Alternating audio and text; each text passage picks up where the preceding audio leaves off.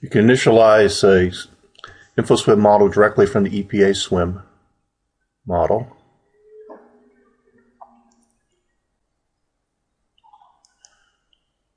We'll zoom to the data.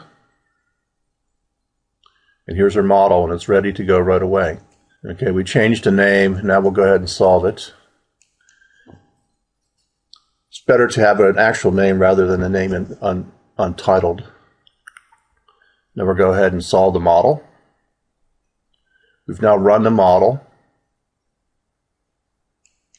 And we can come up and look at the output and graph the output. It's also very simple to export the data.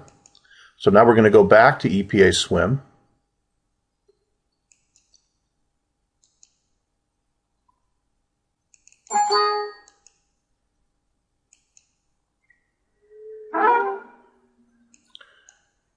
Now we've made that model. Now we'll load it up in SWMM 5.